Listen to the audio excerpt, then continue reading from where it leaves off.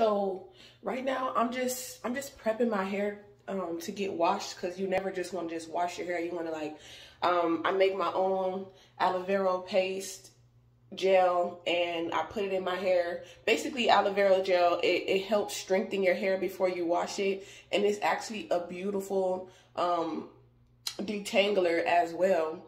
Um, so you have less breakage. You're still gonna have breakage because you know your dead ends are, are meant to fall off. But um, yeah, that's just getting more into my message. Like I, I know that I did a um a reaction video to the reading um starring Mo'Nique, and I'm watching this YouTube creator and I'm watching her channel and I'll um, put the information in the description box below but I'm watching her channel and she's talking about like celebrities and sacrifices and things of that nature when it comes to um, Traci Braxton's death.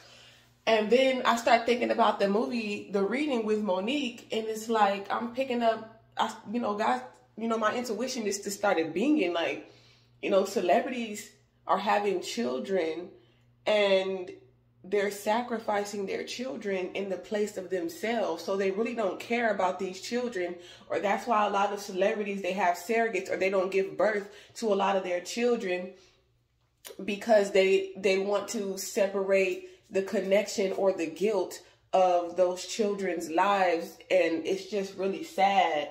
It's really sad. So that way they don't feel bad um, when when things start going on or when their children have mysterious illnesses or even death.